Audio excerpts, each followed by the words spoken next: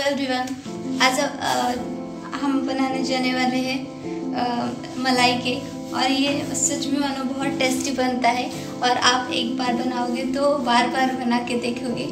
तो अब हम स्टार्ट करते हैं हमारी recipe so be with me मैंने बाउल लिया है।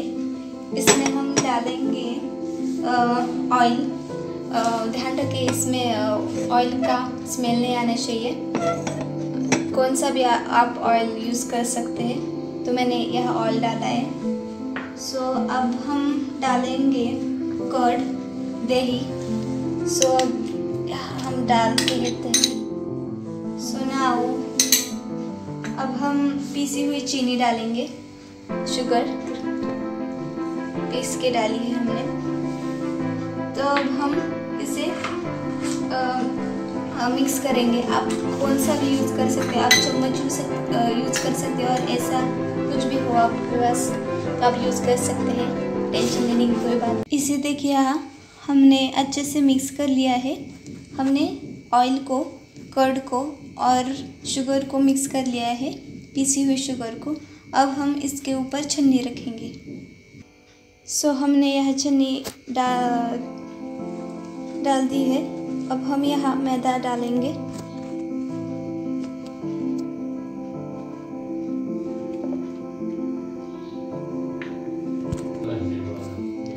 इसमें हम मैदा डालेंगे और सो हम इससे इसमें अब सोडा डालेंगे, बेकिंग सोडा और बेकिंग पाउडर। ये मैंने बेकिंग पाउडर डाली है।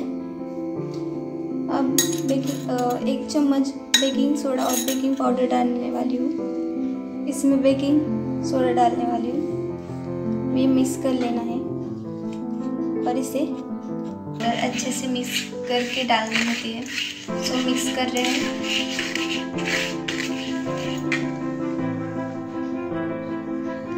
सो हमने यहाँ दूध लिया है। अब हम इसमें डालेंगे। के अनुसार हम डालेंगे। इसको मिक्स कर लेंगे। अब हम मिक्स करते हैं। आप किसी भी चीज़ से मिक्स कर सकते हैं। चमचे से या इस, आपके पास ये हो तो इससे भी। यहाँ मुझे लगता है और लगेगा दूध। तो हम हम, हमने रखा है तो हम डालते हैं सब। Okay?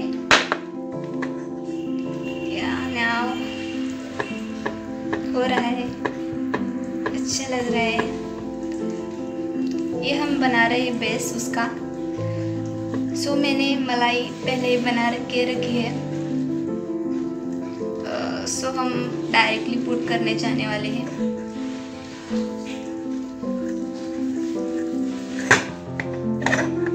So I think so it's batter is ready हमारा बैटर जो है वो रेडी हो गया है।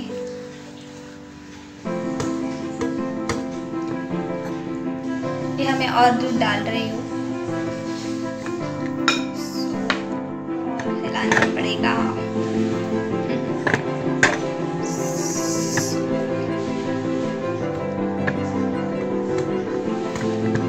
देख सकते हैं अभी इतना ऐसा स्मूथ दिखना चाहिए। स्मूथ होना चाहिए। बहुत इजी रेसिपी है। अब तुरंत सीख जाएँगे। एक मैंने पतीला लिया है। का बीटर रखने के लिए। तो हम इससे गार्निशिंग ऑयल से करेंगे। बटर हो तो बटर भी लगा सकते हैं। ये न, ये हम तेल लगा दिया है। अब हम इसमें डालेंगे, हमारा बीटर जो रेडी हो गया है। आप यहाँ देख सकते हैं, हमने बीटर रखा है। ये पूरे पूरे से, अच्छी तरह से हिलाने का।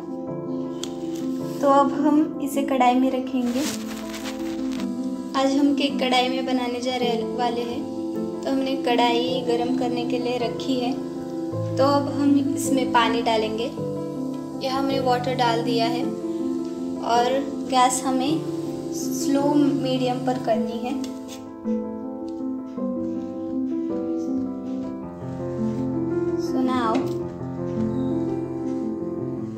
हाँ स्लो मीडियम पर हो गई। और अब हम इसमें स्टैंड रखेंगे। आपके पास जैसा स्टैंड हो, आप रख सकते हैं। अगर नहीं हो तो आप डिश भी रख सकते हैं, कोई प्रॉब्लम नहीं तो अब हम, हमारा सब्सटेंस है जो बनाने वाले हैं आज बेसिक केक मलाई cake so this this is ready तो हम इधर रखते हैं और इसे हम ढक देते हैं। यहाँ आप देख सकते हैं, हमने केक रख दिया है, वो भी स्लो मीडियम पर। हाई में नहीं रखना है। और अब हम वेट करेंगे thirty two thirty five minutes तक। यहाँ पहले से मलाई बना के रखी है। आप जब मलाई बनाओगे तो रूम टेम्परेचर में होनी चाहिए। तो केक रेडी होने के बाद हम उस पर डालेंगे। सकते हैं हमारा केक फूल चुका है और हमने गैस भी बंद कर दिया है। अब हम इसे ठंडा होने तक रखेंगे रूम टेम्परेचर पे आने तक। So decoration of cake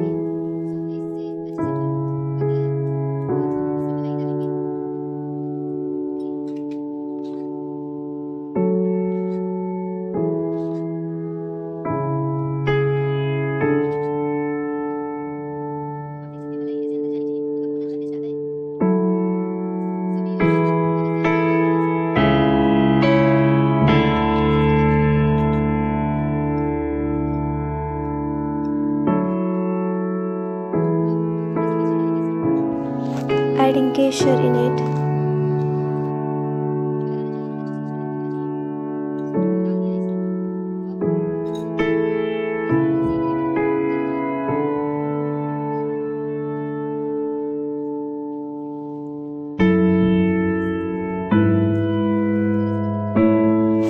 Nuts in it.